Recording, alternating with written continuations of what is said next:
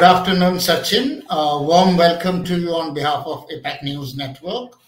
Uh, just uh, very briefly, uh, we are a media organization headquartered out of Noida and uh, presence in across India as well as in Dubai, Singapore, and Malaysia.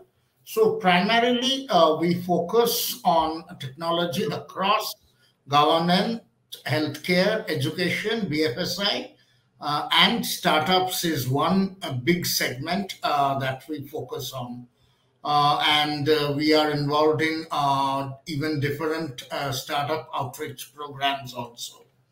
So primarily the discussion, what we would like today is one to understand the AWS digital native business, primarily the startup business, its different nuances and sort of uh, facets within it.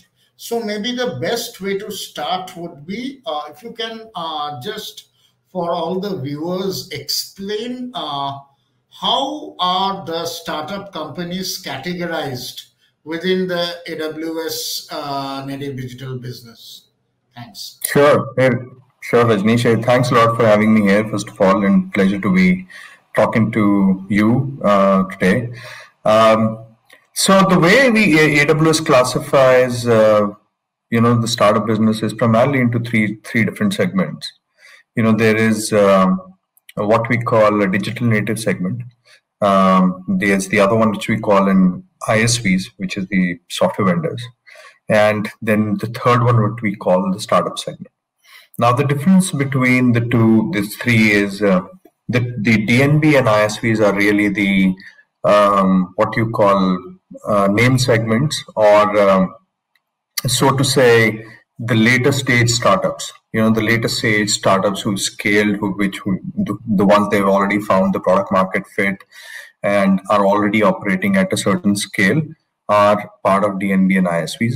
The difference between DNB and ISV again is DNBs is basically B2C and um, ISVs are B2B. Um, so that's the difference between DNB and ISV. And then, you know, the startup segment is where we have all the basically thousands of startup, which is the scale motion. And those are usually the early stage startups that sit in the startup segment. So that's how we classify this, you know, into three three different buckets. Okay, thanks. So just a little bit more clarification on this categorization especially between the DNB and the ISVs, which you mentioned. Uh, ISVs is um, obviously more on the software side, but uh, you also mentioned about one criteria being uh, a startup which is particularly a B2C uh, sort of organization and uh, one which has a more B2B kind of target. So my question is for many of the startups, maybe it will be a hybrid uh, both B2B and B2C might be there, uh, and that's most cases are likely. So in that case, uh, how do you classify them? And is this B2B, B2C the sort of primary criteria for categorization? Yeah, so so usually um, it's it's a clear demarcation, right? So for example, a B2C startups, if I say in the DNB segment, will be um, you know, if I take gaming, there'll be customers like 24 cross 7, Games 24 cross 7, or Dream 11, or MPL. And if I take the fintech space, it'll be, you know, it'll be customers like Paytm or Razorpay or PayU. However, you know, if I compare the same with B2B, B2B will be will be uh, different. You know, it's it will be mostly um, customers like CleverTap, for example, uh, so the so the customers who are in the business of providing solutions in a B2B fashion get classified as ISVs. And the customers which have a primarily business which is dealing with the consumer gets classified as B2C and part of the DNB segment. I hope that clarifies. Okay. Yeah, thanks. So now uh, coming, um, let's focus on both the DNB and the ISV here, if I may say. Uh, in terms of uh, AWS helping out and specifically more the uh, companies under DNBs, uh, one uh, one is in terms of uh, their technology adoption or deployment in terms of the choice of technology, maybe helping in terms of manageability and deployment. That is one part, the technology wise. And second is in terms of helping in their business development. Uh, that can be marketing, uh, the Marcom, and even uh, further go ahead uh, in actual business development. So, what are the initiatives that AWS has, uh, which sort of acts as a support program for these under the DNB business? Sure.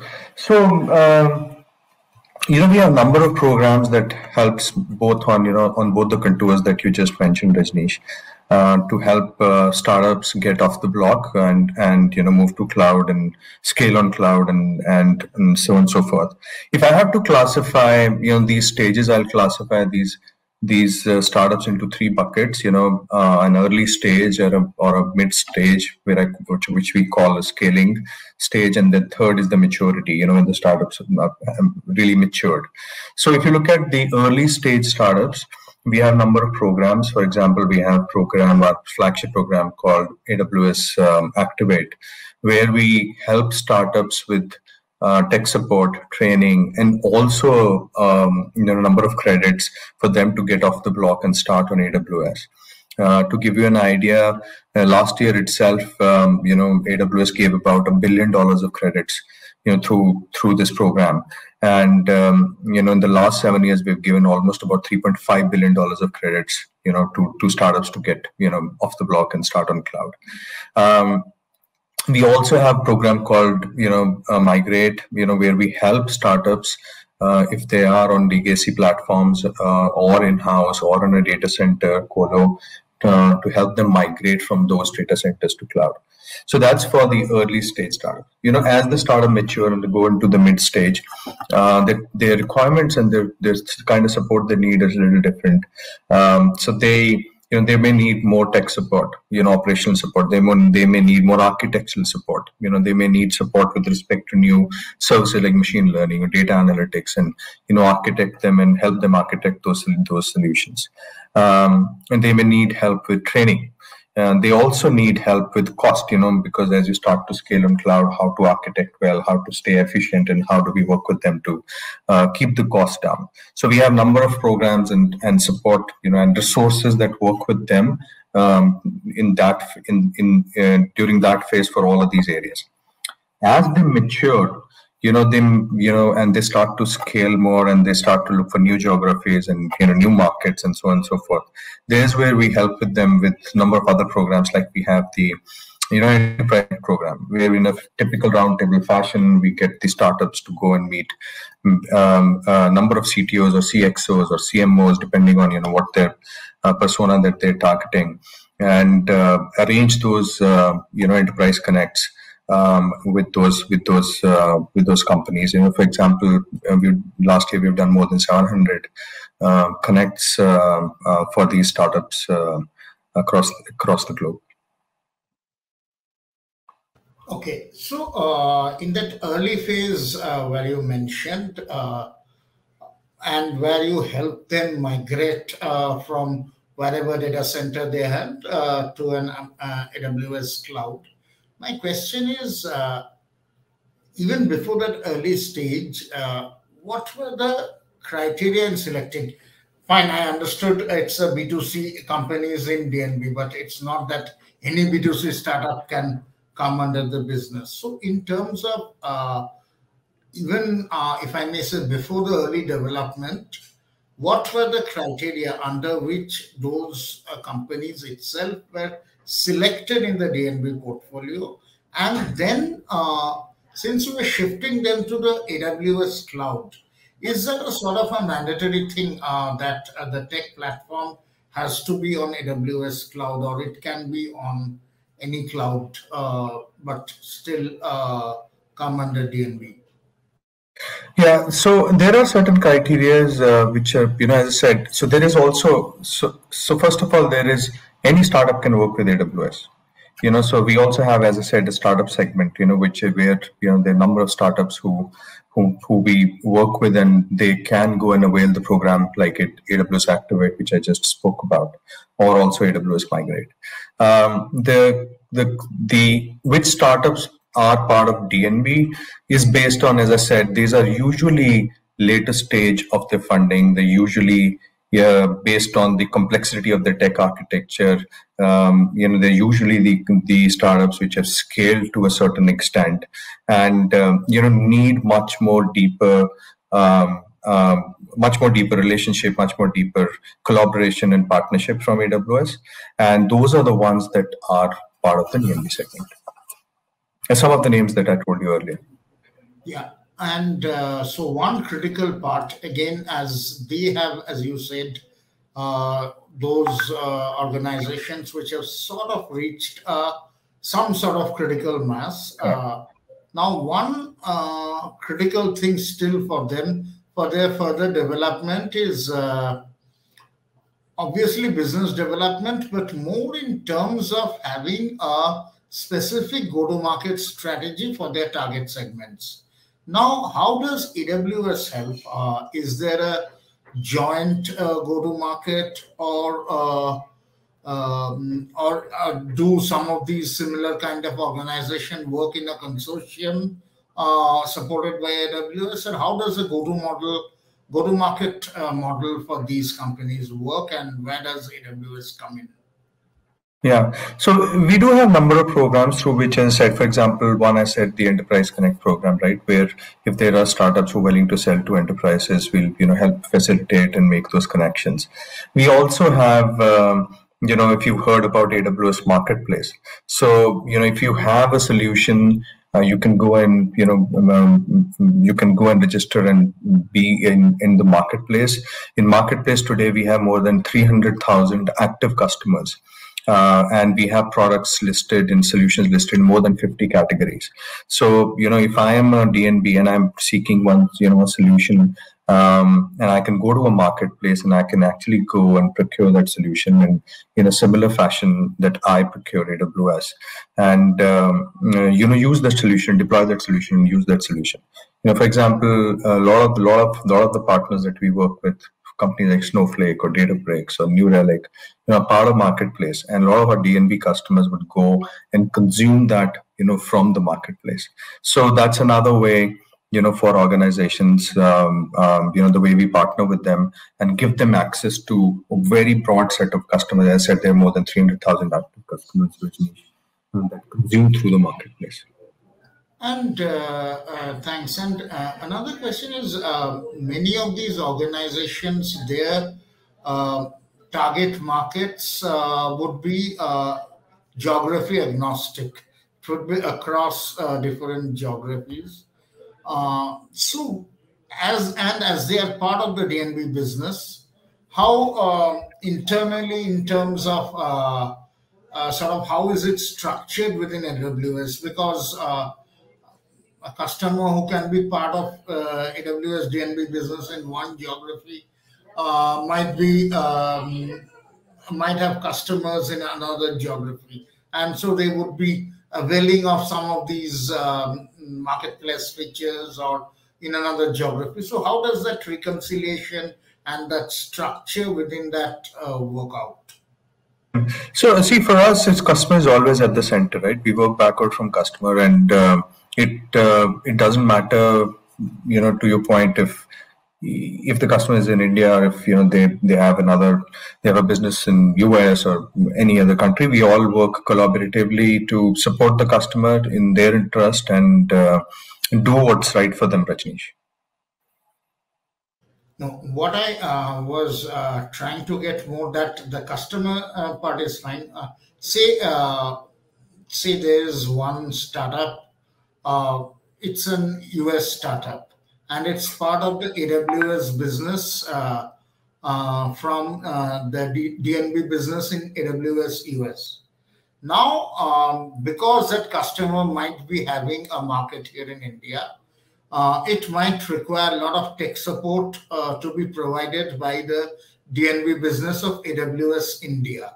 So then this, when this cross geography if I may say, um, relationship uh, need to be maintained? How does that happen? Yeah, so as I said, you know, the good news is that we have regions, you know, all across the globe, right? So, you know, we have about about uh, 25 regions now and 81, uh, you know, about 81 availability, sorry, 81 availability zones. And um, so, so a customer is free to deploy where they want. So let's say if a customer in the US is coming to India and they want to deploy um, the setup in India. They can choose the India region and, and deploy it. And um, if they need need tech support, there are teams available from you know whether it's account managers or solution architects or technical account managers or professional services. All teams are available for any support that they need to scale in India. And as I said, you know, in that case, we work very collaboratively with with the teams in the US and and provide them the right support. Okay, and uh, also in terms of uh, so now uh, these uh, uh, startup organizations uh, will be coming from different domains. Okay, they might be B2C, but even within B2C, it can be a fintech or it can be an edtech or health tech or whatever. so now, and each will have their own domain business dynamics. Now, in uh, that will uh, even determine in some cases the tech support and the go-to-market that needs to be provided. So my question is, even uh, for the DNB business, is the focus uh, completely the support um, is done on an individual level for a specific company, or maybe uh, say certain common functions uh, for companies in a particular domain. So uh, there are uh, certain common practices from AWS that those companies can follow. How does the model work? Or is it like each company, irrespective of their domain, is a complete separate entity for AWS? Yeah. So see the um, because DNB customers are uh, you know at a certain scale, um, you know, let me let me also give you some flavor on.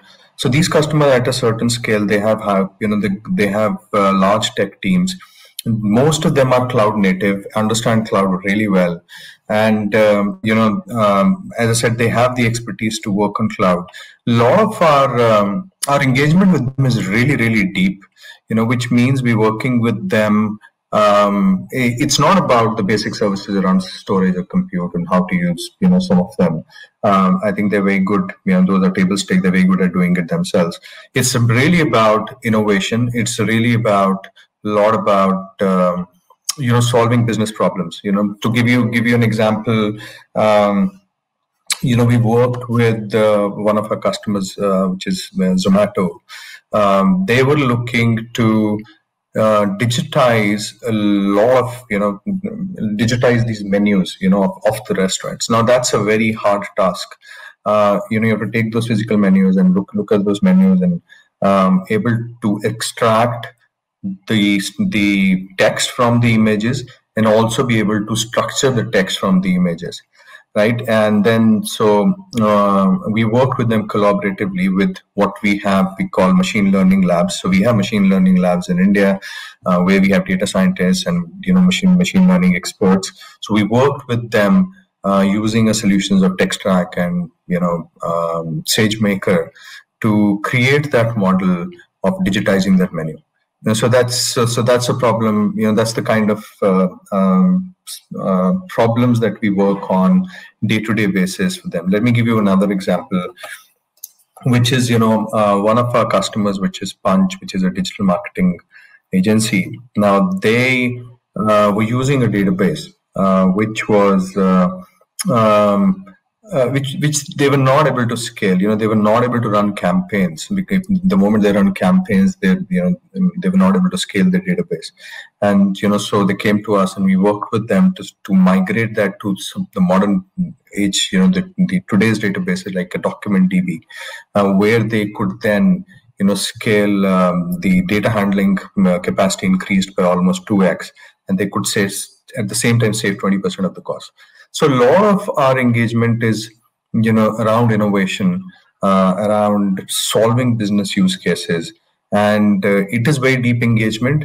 Though there are certain nuances that needs to say, okay, this we have fintech customers, um, you know, uh, where some of the scale problems can be can be used for, for by all. For example, you know, during pandemic, the whole problem around KYC became an issue. You know, so we worked with uh, some of our uh, fintech customers and some of our gaming customers on how do we do the eKYC bit. You know, how do we bring accuracy in reading those um, IDs, you know, and um, do eKYC online. So we built that model for for these customers, which can now be deployed across you know different different uh, across a fintech or across gaming. So there's certain horizontal things which we do. There also there's a lot of personalized one-on-one problem solving that we do with each customer. Okay. Thanks. Uh, and you uh, brought the issue. It was my next question. Give one example of the KYC done during uh, the pandemic. Uh, what I wanted to ask next is what we have seen uh, primarily, as you uh, rightly said, all these customers are cloud native or sort of born in the cloud businesses, and their businesses most of the services they are rendering have been online even uh, before the pandemic. But what we have seen uh, during the pandemic is uh, more so their uh, one, the internal operation also uh, got uh, moved to the cloud, as well as their service delivery was completely happening on cloud. So, my question is like the eKYC is one use case that you mentioned. Other than that, in case uh, wherever pandemic impacted uh, the mode of business of your customers, uh, how did AWS sort of help uh, and uh, sort of smoothen that uh, transition during the pandemic? Yeah.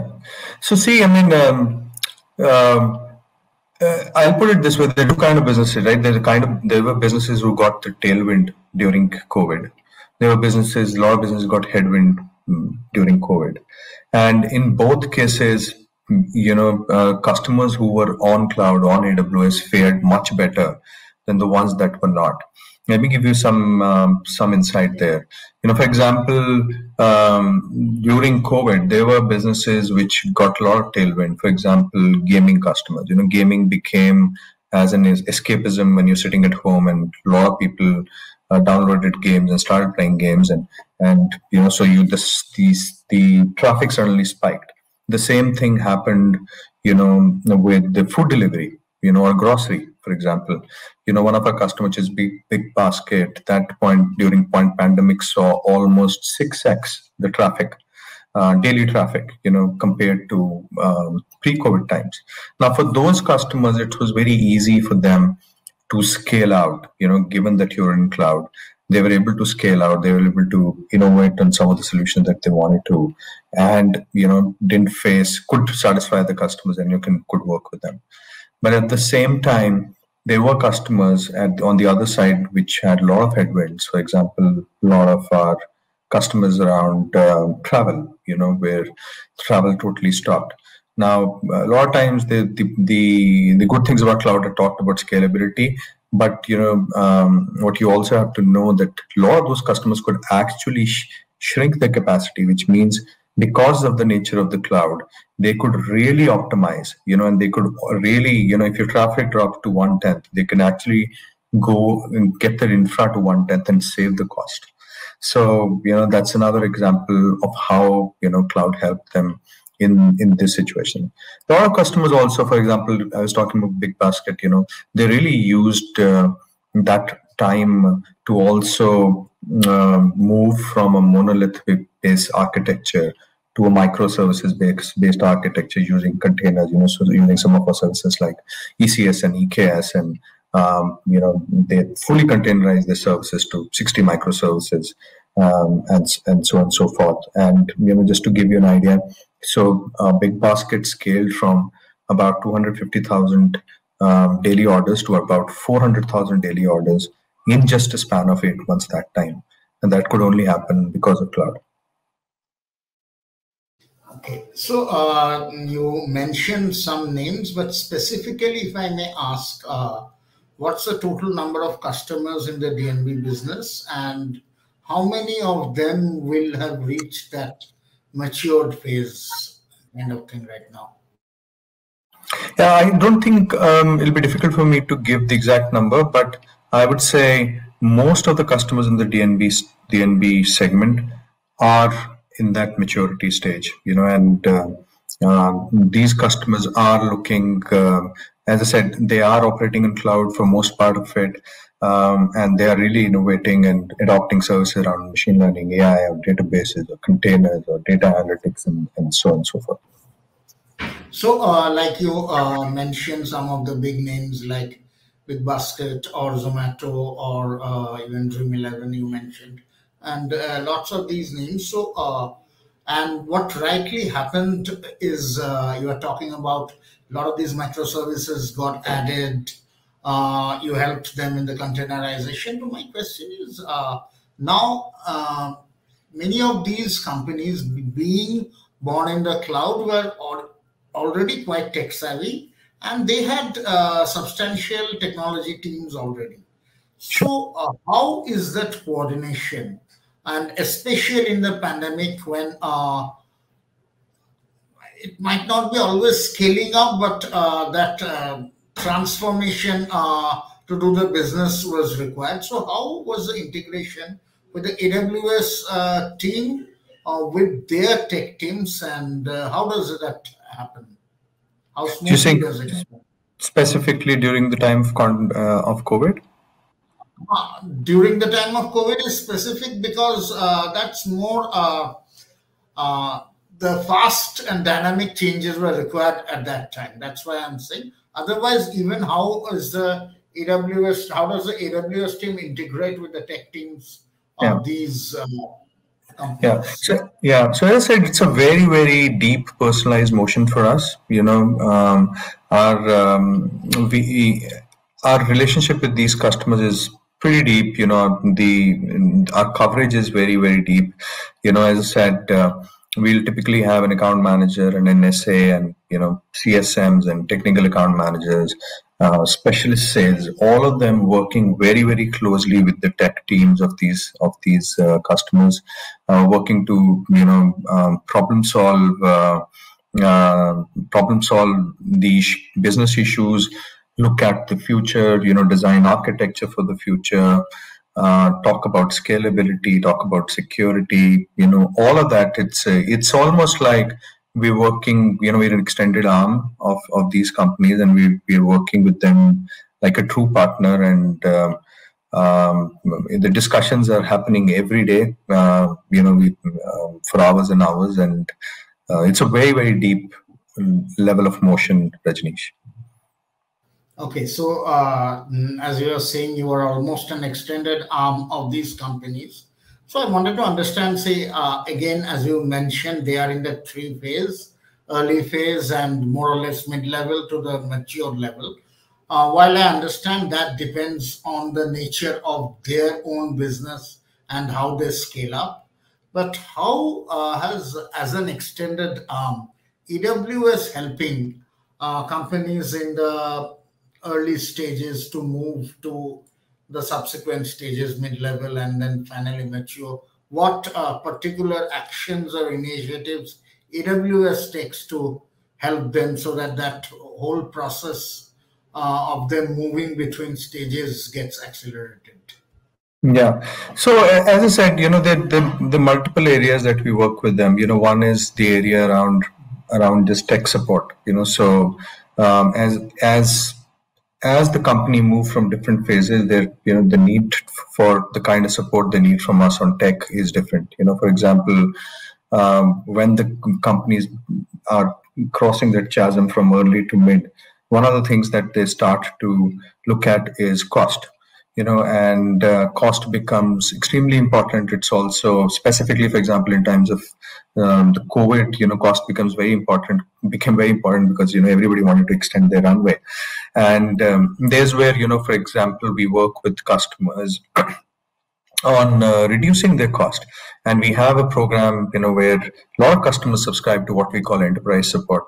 And enterprise support is where we give them a dedicated technical account manager who works with them uh, not only on you know looking and running efficiently in cloud which is on cost but also on things around you know do they have the right security posture um, are they architected well you know are you using the services the way you, you should use you know um, are you using the levers that we have around savings plan and RIs and and things around those? So you know, it's it's it's about cost. It's about the right level of security. It's about how you architected well.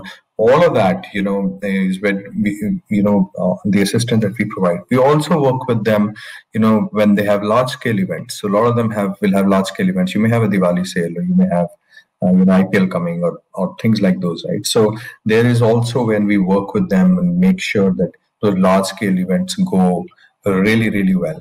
So it's it it depends on each customer which stage they are what level of support they, they need um, and they may need for example also support around adopting some of our new services. So we work with them in solving those those issues like the example i gave of zomato um, and uh, working with them to problem solve it do pocs make sure that the solution is successful and so on and so forth.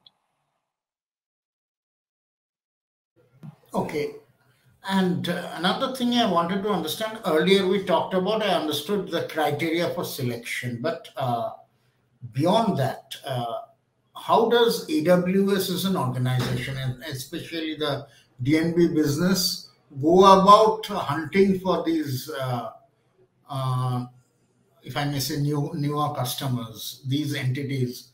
Uh, how do you look out for them? What is the DNB's specific GTM, if I may ask?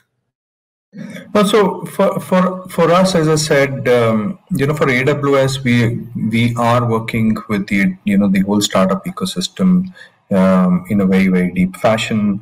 You know, uh, we work and we work across the complete life cycle of the startup, right? From the time they are incubated and they're part of an accelerator or you know funded by a VC or and so on and so forth. And we start working with them at that stage, and we stay with them, you know, till the journey of of being a DNB or also being an IPO'd company like Zomato is now, right? So we stay with them across the across the full life cycle and at different stages, right? So at a certain stage, we may feel that this startup needs a different kind of. Uh, they have reached a scale, they have reached a tech complexity where they need a different uh, level of support from us is when we move those startups, you know, from that startup segment to the DNB segment, and then you know to give them the right level of support and coverage that, that they need. So um, it's really for us, it's the whole life life cycle in the journey, and we stay with them from start to to eternity. Okay, so uh, it's primarily um, from the startups uh, only. Uh, once they'll reach a certain level of maturity, then they are moved to the DNB business. Uh, another thing, a little uh, future looking, if I may ask, uh, what is the trend that you are witnessing in terms of startups? Some obvious examples during the pandemic you mentioned was games and I would presume education also, because but beyond that, also as we look forward, uh, what sort of uh, the nature of startups and uh, which you uh, feel uh, would be maturing and move to, if I may say, your DNB business? So, what sort of companies you are expecting to see more there? Yeah, um, it's a very broad question, but I think there are certain domains which are really very hot, right? Fintech is definitely one. There's a lot of work happening on fintech around different areas, like insurance or wealth tech, or um, or even on the um, uh, even on the capital capital side. So um, you know, specifically, a lot of focus on areas around BNPL, which is buy now, pay later. A lot of innovation happening, you know, there to extend credit to people which you know were never in the credit system. Right? There's so many people who are never in the credit system. How do you extend credit to them? So I think that that domain is is really really uh, is really, really hot.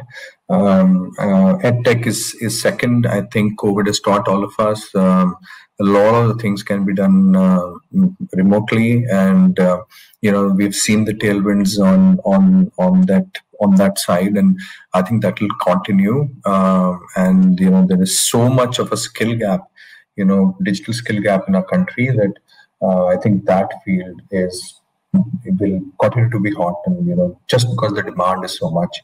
I think the second um, i think gaming another one you know gaming we are at just at uh, i think we're just getting started. If you see across the globe some of the very matured countries where the where gaming is matured i think we're at the tip of the iceberg right now and um, that field also will gain momentum uh, in the next few years um, Rajneesh.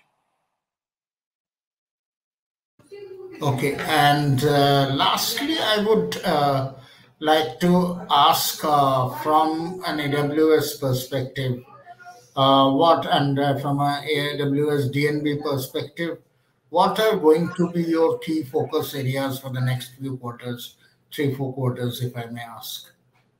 Yeah.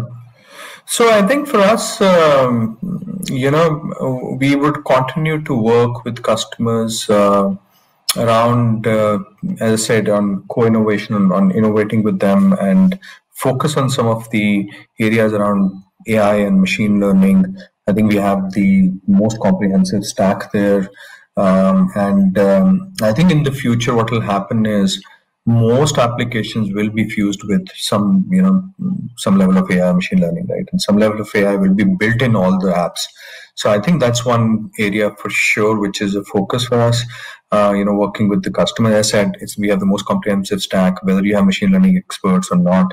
You know, uh, we have three layers, you know, and we have solution like SageMaker, where it does all the heavy lifting, even if you don't have machine learning practitioners. And then we have the higher level AI, AI services also, right, which you can just consume.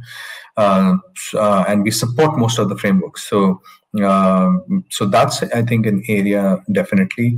I think the second area is um, we see um, a lot of the organizations move from uh, traditional one database fit all application um, scenario to a purpose built database for the application, right? Because the application totally changed, the amount of data that they handle is totally changed, the response times are different. It's, it's a different world. Uh, and, you know, today we offer more than 15 flavors of databases. And uh, you know, so you can't solve everything with a SQL database. So there's NoSQL database.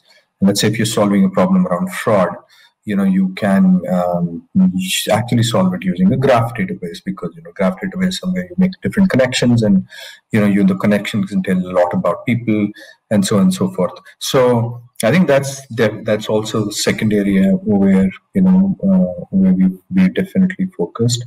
Um, I think the third area will be around uh, uh, data analytics, you know, where um, uh, it's just becoming, it's just, it's, it's just become more and more uh, clear now that, you know, you, we all are data organization, you can't operate without data. And, you know, how do you uh, help organizations create that data lake and, you know, and get all the structured and unstructured data in one place and make insights in as much real time as you can right? So so you know the solutions around that is another one.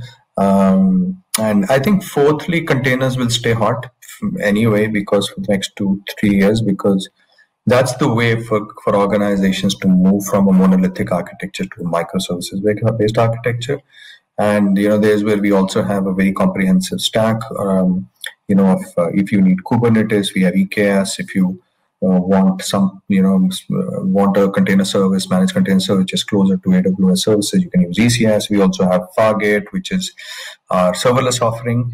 So i think that's another area. So these four areas i think is is that comes to my mind. I hope you i hope i was able to give you what you were looking for. Sure, definitely. Thanks a lot. Thanks, Rajneesh. Take care. Bye.